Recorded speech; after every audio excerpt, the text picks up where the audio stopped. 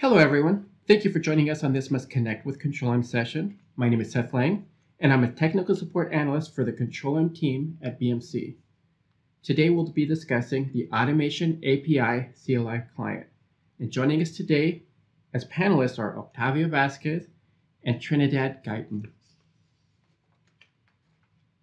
During this presentation, we recommend going to full screen mode by pressing the full screen button at the bottom of the screen. Please note that this presentation is available via the Files pod at the bottom of the screen. If you have any questions during the presentation, please post them in the Q&A pod. We'll be addressing those questions at the end of the presentation.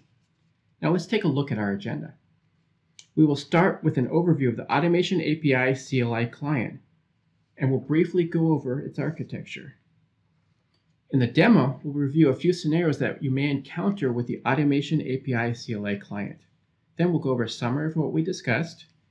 We'll, we will list some resources, including additional knowledge articles, and we'll finish up with a live Q&A session. The Control-M Automation API client is used to interface with the Control-M Automation API REST interface. Control-M Automation API is a set of programmatic interfaces that give developers and DevOps engineers access to the capabilities of Control-M Enterprise Manager within modern application release process. You could use a command line interface to build, run, and test your jobs and exist against an existing Control-M instance. Here in this diagram, we see the architecture of the Control-M Automation API and the various processes that make up its internals. We have the Automation API client. It can be installed on any host. The requests go through the Tomcat web server to the Automation API REST server running on the Control Enterprise Manager server. From there, the requests go to the GUI server for authentication.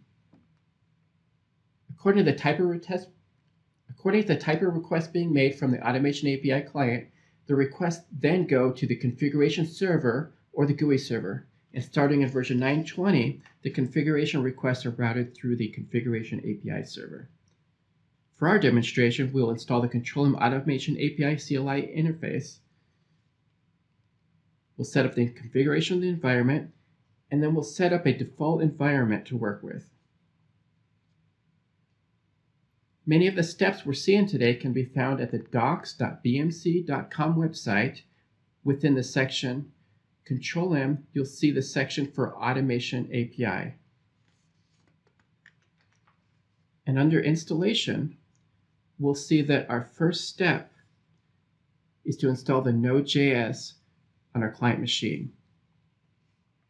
We'll first install this on a Windows machine, downloading the Windows installer from the nodejs.org website.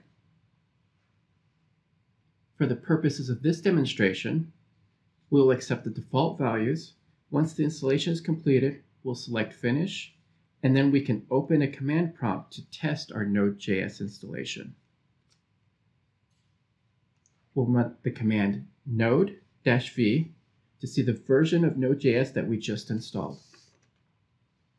And then we'll also run the command npm-v to see the version of the Node package manager that was bundled with the Node.js installation. If you're installing the Control-M Automation API CLI client on a Linux machine, you'll need to also make sure that Node.js is installed on that machine. On the Node.js.org website, you'll see under Other Downloads, there are sections for various installation types. Along with other options, you'll see options here for binary archives. You also see some suggestions here on the websites for package repositories that contain the installation. You will need to verify with your systems administrators for the appropriate steps for your environment, as the steps that are followed can vary not only by operating system type, but also by the policies and procedure of each organization. Only for the purposes of this demonstration will enable a package manager. I must reiterate the importance of verifying with your organization's policies and procedures as to which package repository or installation media is appropriate to your specific installation. After enabling the package manager and running the installation, just like we did previously in the Windows environment, we can now verify that Node.js is installed by running the command node-v which will return the node version that was installed. We'll also run the command npm-v, which will give us the version of the Node Package Manager that was bundled with the Node.js installation. It's not necessary to download the Automation API CLI client from an external or public website, as it's included and can be downloaded from any currently supported Control-M Enterprise Manager server. We will demonstrate this from the Linux terminal running the wget command and then entering the full name of our EM server with its full address, starting with the host name. In this environment, the, the Control-M EM server is installed on the hostname demo Control-M with the HTTPS web server port 8446. We will follow our hostname with a colon, the port, forward slash automation dash API, and then another forward slash followed by the file name ctm-cli.tgz.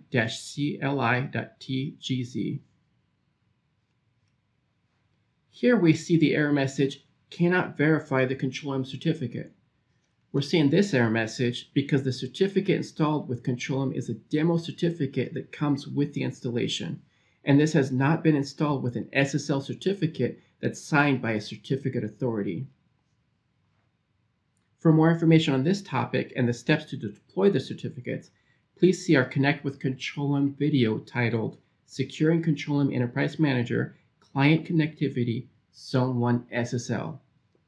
In the meantime, as we're aware of the source of this certificate, we will rerun the command with the No Check Certificate option so that we can continue working with our demo certificate.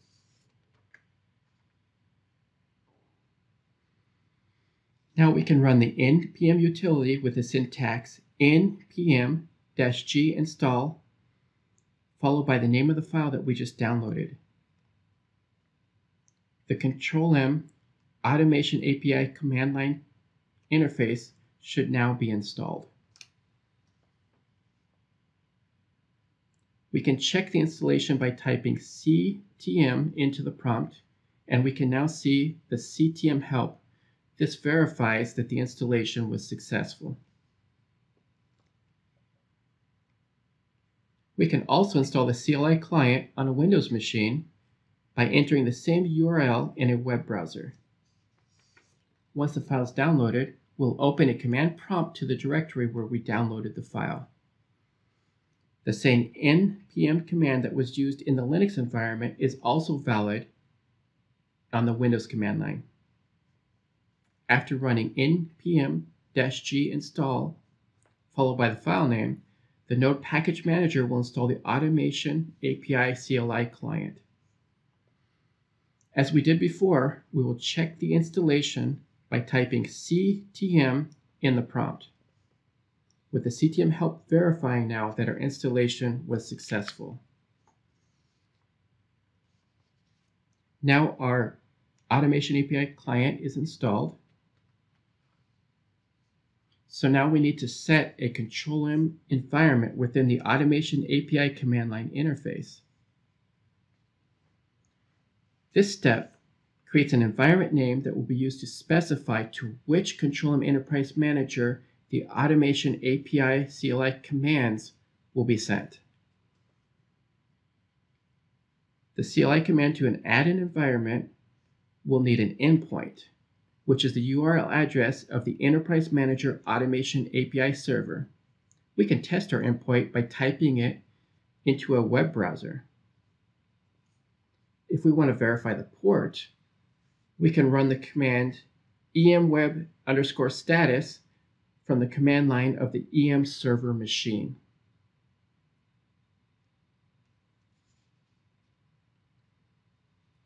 Please note that the Automation API requires that the HTTPS connector be listening. As of Control-M 920, Automation API, Application Integrator, and the Control-M Web are configured to only work with a secure SSL connection.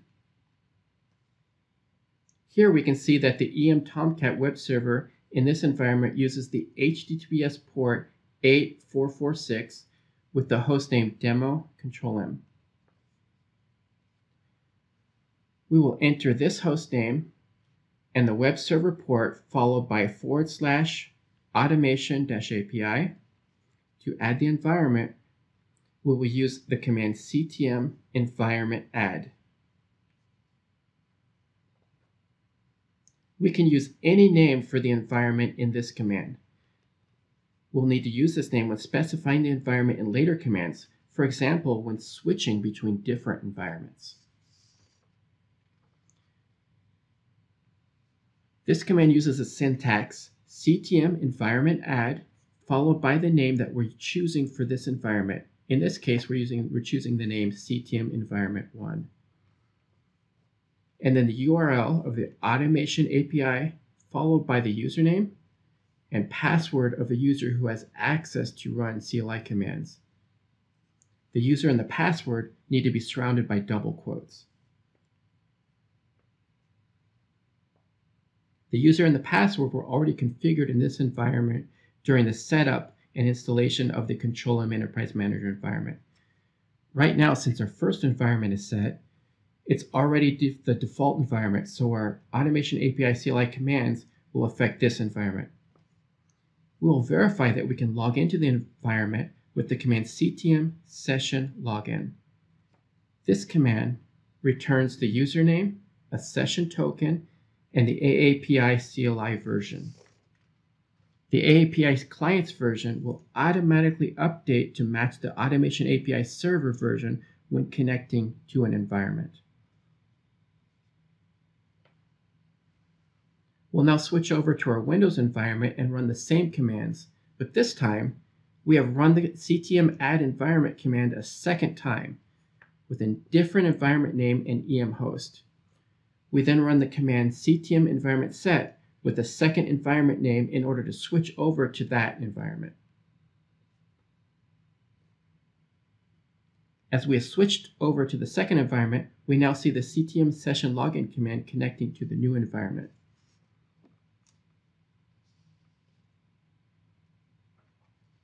For our first troubleshooting scenario, we're creating a new environment that logs into the Automation API CLI with a different user.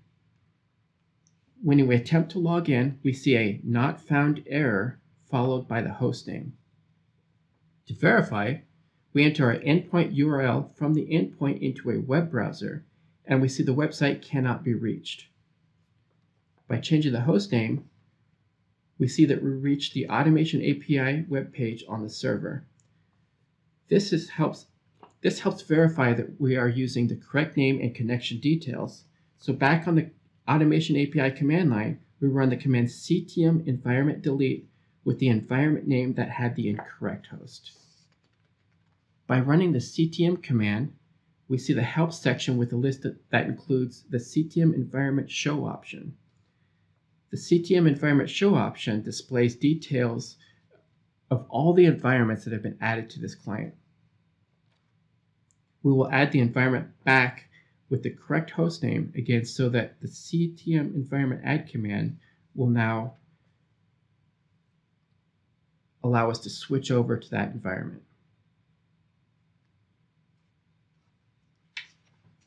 The ctm environment set command will help us switch over to that environment. We'll run the ctm session login command again, which brings us to our second troubleshooting scenario. We now see a different error message user has no privilege to use the Control-M Automation API. If we look at the emrest SRV log file that's found in the Control-M Enterprise Manager server log directory, we see the same error message. For this, we'll reference knowledge article 248273. Here we can see the privileges that are needed to log in to the automation API in order to get login privileges. We also see here the privileges that are required to perform specific actions in the environment. In the Control and Configuration Manager, we can select the EM component from the components tree on the left side of the screen and then select authorizations.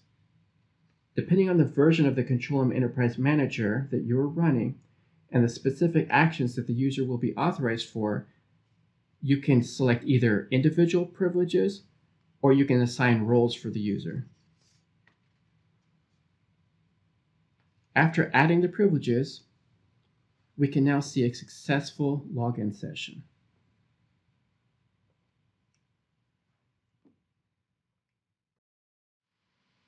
To summarize what we've seen in today's presentation, we saw an overview of the Automation API architecture and we demonstrated the Automation API CLI installation. After configuring the AAPI environment, we also set a default environment and we demonstrated switching between AAPI environments. The information seen on this screen can be referenced to dive deeper into the details of today's presentation.